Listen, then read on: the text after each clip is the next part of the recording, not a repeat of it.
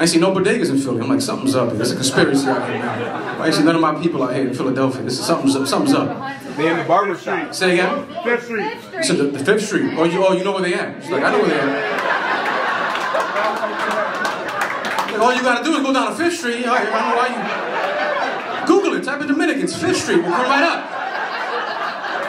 Just type in Dominicans on Google and you'll get a whole plethora. You get a plethora. Get a cornucopia. You get mad, mad. How, how you say? Mad Dominicans? You're gonna get mad Dominicans. That's what you're gonna get.